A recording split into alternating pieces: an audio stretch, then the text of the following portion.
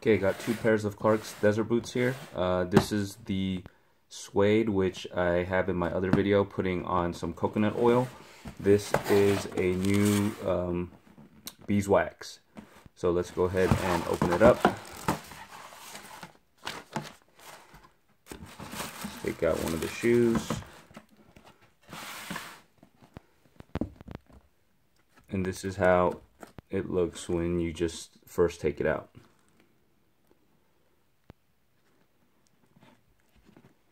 Little scuffed in the front right there.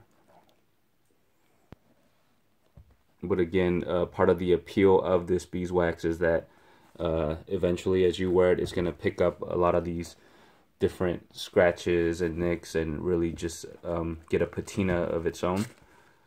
So you'll notice that this is a dark leather and it's smooth. Let's compare it to the suede.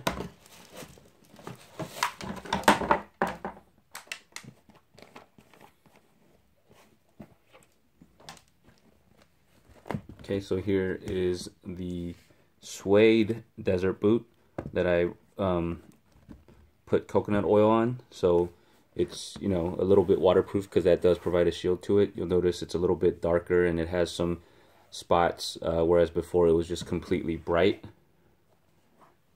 So again, this one also, as you start to wear it, it'll start picking up um, just some of the characteristics and really make it stand out so that it looks different.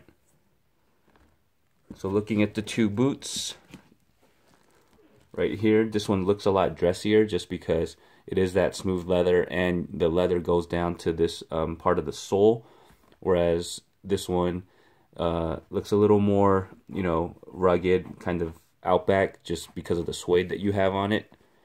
Both are gum sole the Bushacre from Clarks does not have the gum sole, so keep that in mind. But both of these do have gum soles. Gum soles are um, pretty comfortable and just last a really long time. But even though these two boots are the exact same style, because of the material, you can just tell the difference in you know how they look.